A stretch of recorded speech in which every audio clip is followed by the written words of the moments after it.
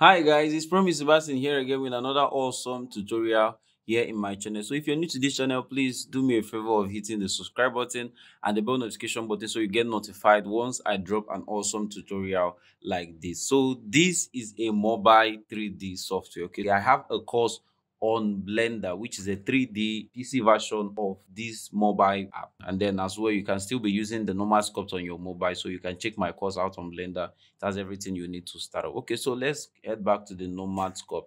This is a very, very great app and software. So far, I've used it. It's very, very interesting. I was so amazed as to the functionality, the speed, the flow. It will be advisable to use it on a landscape like this. To do that is quite easy, very, very easy. Just bring out your tab here and then make sure that you enable auto rotate so you get so this is the best view now to use the app okay so once you open the app you're going to see a default sphere like this one now so the first thing first thing first when you open a software you would want to move what you have in your scene so looking at this now if you can't move it is a very big problem. So to move this now you need two fingers. First you need one finger now to kind of sculpt or drag or do something on this now. So we can do undo. That's this arrow beneath here now is used to undo. So if you go back we're going to undo this now. So if you want to move this cube now we can just use our two hands on the cube and then try to move it now then trying to drag it with our two hands. That's the two fingers sorry.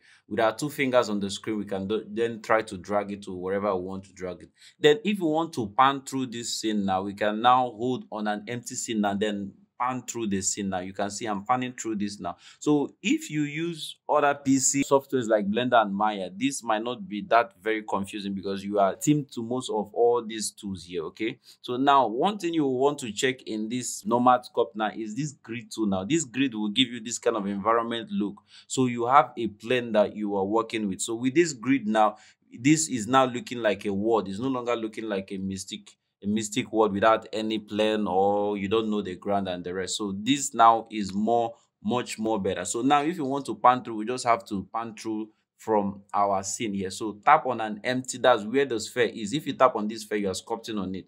So I will click the arrow to go back now. And then you can tap on an empty scene to, so to you can pan through the cube now. So this brush now, you can reduce the size, increase the intensity with just these two yellow um tabs here. So if you increase the first one, you increase the size of the brush. So if you reduce it, you reduce the size of the brush very much well. That's the brush you're using to sculpt. So if you are sculpting, we are sculpting very, very small. Then if you want to increase the intensity, intensity means the pressure. So that means if you if we increase the intensity of intensity of this now, so a little hand on this now is going to increase the amount of sculpt is going to add. Okay. So another thing is how to add and remove stuff. So once you're done with this now you want to remove this stuff or probably add a new one. So to do that now you have a scene here.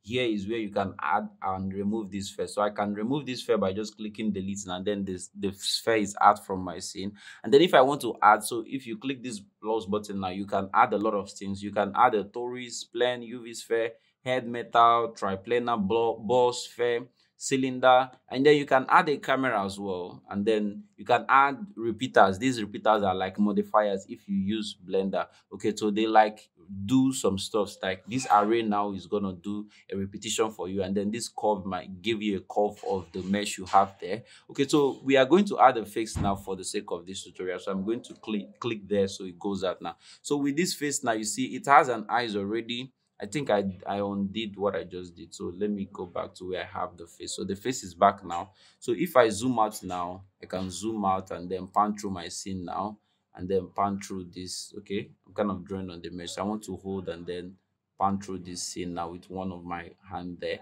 and then hold on the scene and then move and then pan through on the scene. I can now zoom in. So hold and then drag this now. So is going to be giving you the information of your RAM here. So be careful when it turns red to not overdo. So when it turns red now, you will want to like reduce the number of vertices and the rest. Okay, so now we can use the brushes we have here. You have the drag brush now. We can reduce the size of these brushes very much and then we can drag the cheek of this guy now. So you see we are now dragging this guy. We can drag the head. So all these brushes now have their different settings. So make sure you reduce the size of them once you add anyone because their size is very much big once you add them. So now we can drag this now and then we can undo all these stuff we just did. So I think the undo has a limit to the trial version because this is the trial version, is a paid app. Okay, so now you have smoothing. Smoothing is used to smoothing stuff when you are drawing. Okay, all these things are brush that you use to do some deformations on this mesh now. So you've learned how to move, you learned how to add, and then you've learned how to use all these brushes. So another thing is how to save. Okay, if you want to save stuff now, you see this file folder here. It's very easy. It's mostly on all other apps. Once you see this folder, you know that it's saved. So once you click on it now, you can then save now. So if I if you want to save, I will just click on save now. So it has saved the project for me. So for me to use whenever I want to use them. Let's head over to other settings now. So you can transform with this gizmo, this gizmo here. Now you can use it to transform and then move this guy and then rotate. These ones are used to rotate and then look at that you can use it to rotate and then you can use this one to rotate as well so all these ones the ones that are circle are used to rotate the one that are arrows are used to move. So the eyes is kind of moving out now. Okay so another thing here is symmetry. So you can see the symmetry is on here. So if you don't need the symmetry you can uncheck the symmetry here and then check it back. So if you uncheck it now if i take the grab let me just use the select now. So let's just use the drag brush and then drag the cheek now. So you see it's only dragging one side of the cheek now and then once you on the symmetry, if you drag any side, it's going to be dragging that side. So all these are brushes that you can use to deform this now. So make sure that you select the mesh, the actual mesh. Okay. So once you try to do something and it's not happening on this now, so you, you might want to go to your scene and check what you are selected on. So you, you can select the head. This is the head now. It will show you a purple glare there to, to know that you have selected the head and then you can now click on that scene again and then work on it. So here is where you have modifiers that I said earlier now. So we can add a modifier on this now. So let's go back. So modifiers are more like stuff that you use to work undestructively on a mesh. Okay, so this is a mesh now. So if we add that modifier, what it's going to do for us now is we can increase the amount of faces here now. So another thing we would want to do is on the wireframe. So let me on the wireframe of this. So you're seeing what the wireframe looks like. This is the vertices now. So once you have these things on now, you can know the size of your vertex here now. So with this wireframe, you can still customize it. So once you want to customize stuff, just press and hold on that stuff. You're going to see some options to customize it. Like this version now, press and hold, you can see remesh. So we can remesh this now. So let, let's reduce the resolution now and then remesh now. So it's going to remesh this for us now. And then if you see, if we on wireframe, you see what our mesh is looking like. Okay, so this is great now. So now this inspect now is if you want to check the UV uh, mapping, the color and the roughness, and then the metallic and the normal. You might not really understand this and if you're not into 3D. Okay, so roughness is the amount of roughness it has, like how rough it is, and then the metalness is how metallic it is. So all these things are like maps now. So they are different on a different scale. So they are just joined together with one settings to control them. So anyone you want to add, you want to make it metallic, you can choose to metal and select metal. Then as once you select the metal and then you start painting. So that is it about that. Okay, so I want check this thing now and then remove it now. Okay, it's off now. So now you have subdivision surface, you have gizmo. I think I've talked about that one. Okay, so now let's check this one now. So now if you want to change your your view now, you can change from opaque to subdivision and then from additives, that's the blending mode of what you're seeing. So and then dithering and then and then refractive and then blended. So this is how you want your view to be. So however you want a view, view to be, you can change to that. Okay, so let's head back to opaque now the default one then you have the the shading okay? So you can change this shading now most people like using once they want to most people like using this matcap now.